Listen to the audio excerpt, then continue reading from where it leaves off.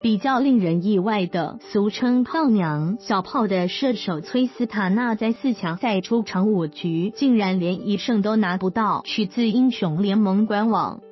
记者陈耀宗外电报道，英雄联盟 S 七世界赛总冠军战即将于四日登场。让我们先来回顾四强赛况。根据韩媒 Inven 所制作的四强赛数据，有六支英雄角色维持百分百的竞选率，分别为加里欧、古拉格斯、施瓦尼、加文四世、珍娜与克里斯达。其中，克里斯达从小组赛至今依旧保持百分百的竞选率，生怕一。选出来就要天下大乱，也成为身为子方势必得扛下来的禁用角。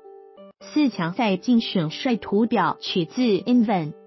两组对战组合的九局赛事中，纳尔及露露以八场被禁用率位居第二。在世界赛属赤着魔器十分强大的版本下，最佳的辅助人为珍娜与露露。另外，在两支辅助都被禁用的情况下，包括卡玛、索拉卡，甚至是打野的埃尔文，也成为替代使用魔器的出场英雄。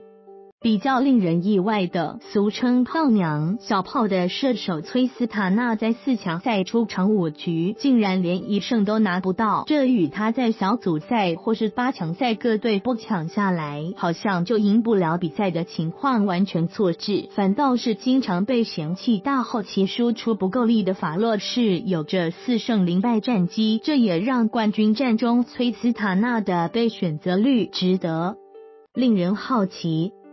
崔斯塔纳数据图取自 Invent。打野三雄施瓦尼、古拉格斯与加文四世的对照也十分有趣。三支的竞选率虽然都是百分百，最受各队尊重的莫过于施瓦尼。九局比赛就有七局被禁用，反倒是三支最常出现的加文四世，六局却拥有最低胜率百分之十六。从比赛中也可以看出，当队伍逆风局选用加文四世这支开战角，只要抢开进场，经常一因坦度不够，瞬间融化，反倒是史瓦尼及古拉格斯拥有百分之一百胜率。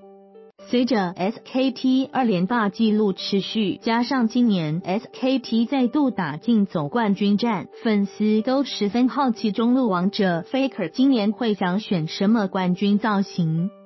今年 SKT 比赛看起来不是那么稳定，但只有一位选手始终如一，那就是 Faker。四强赛对上 RNG 比赛，他连拿五局加里欧，飞天遁的到处支援枪琴 carry 每局比赛，也让网友一致认同加里欧根本是 Faker 化身。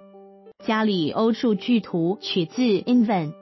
谈到加里欧这支英雄，可说是兼具控场及支援迅速的坦型英雄。不论是靠着英灵之门的半球流进场开战，或是靠技能退场，加里欧的技能组看起来十分强大。四强赛九局比赛中就有七局备选，其中五局是由 Faker 拿下。相信冠军战的加里欧也会成为非 ban 即选。最后。